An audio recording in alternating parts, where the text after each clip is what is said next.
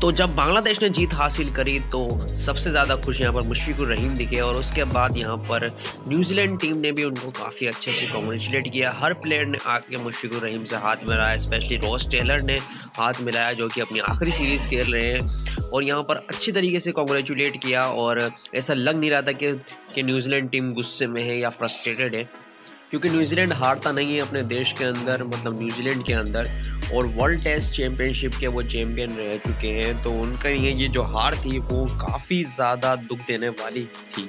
तो अब देखते हैं कि न्यूज़, अब बांग्लादेश टीम जो है, वो इसको किस तरीके से फॉलो करता है और किस तरीके से फॉलो अप करता है। दो आई चैनल सब्सक्राइब करना बहुत भूलना, मिलता है अगली वीडियो में। बहुत ही जल्द।